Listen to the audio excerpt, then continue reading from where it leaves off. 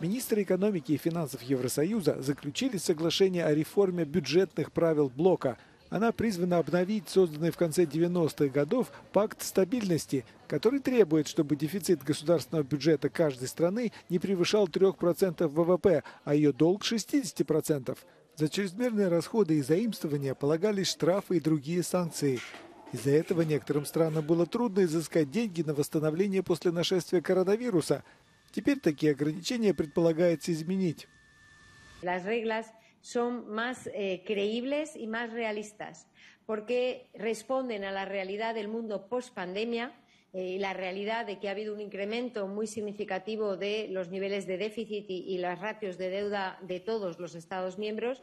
Переговоры были долгими и трудными, особенно между Берлином и Парижем. Первый настаивал на автоматических гарантиях снижения уровня задолженности, а второй выступал за большую гибкость, чтобы имелось достаточно средств для расходов в стратегических областях.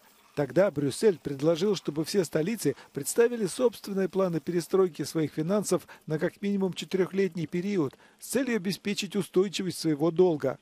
Во вторник Германия и Франция нашли компромисс – это открыло в среду вечером 27 странам-членам ЕС путь к заключению предварительной сделки по принятию новых правил.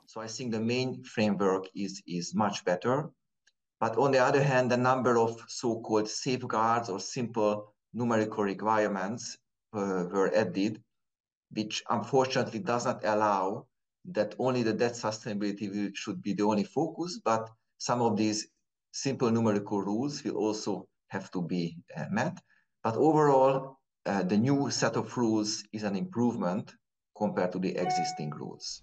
Все это на один шаг приблизило капитальный ремонт финансов Евросоюза к успешному завершению. Однако, по мнению эксперта, бюджетная реформа не благоприятствует цифровым и зеленым инвестициям, за увеличение которых ратуют защитники окружающей среды, многие правительства и общественность.